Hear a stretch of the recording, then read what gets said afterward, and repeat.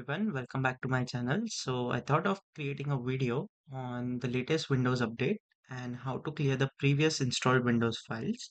So recently Windows has pushed an update for Windows version 24H2.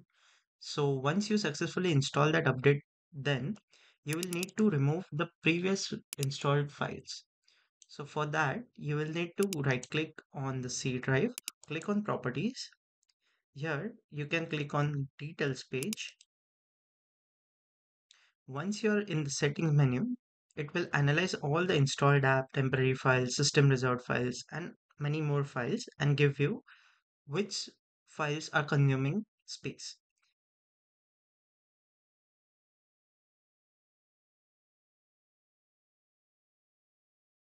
Once the loading icon is gone from all the tabs, then you can click on temporary files here it will display all those unwanted files but make sure you deselect the downloads folder because this will also delete all the files from your downloads folder.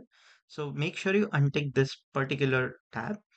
Next you can see it has displayed previous Windows installation which is 20.2 GB.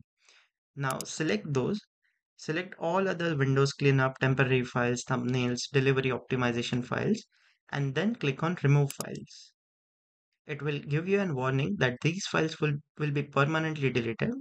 So just click on continue. Doing this, it will clear most of the space which are consumed by unwanted files. Deleting these files might take some time, maybe between 5 to 10 minutes depending upon the system configuration.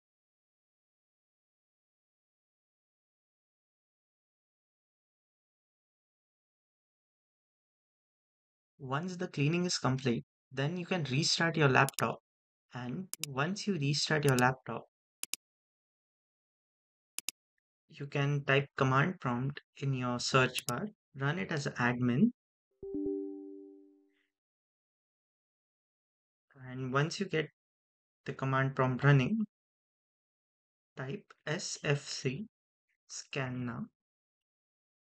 So this function scans all your system files as this was a new update which has been pushed.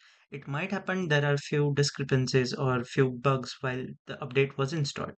So in order to fix all those issues or you know if your laptop is behaving random or if your laptop is giving you weird issues then this command would ensure all the Windows installed files would be scanned and if there are any issues it will replace the files from Windows Server.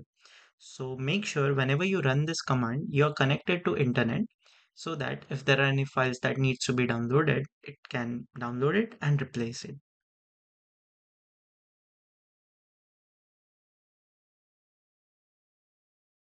So as you can see, there were few corrupt files found and this command has successfully repaired them.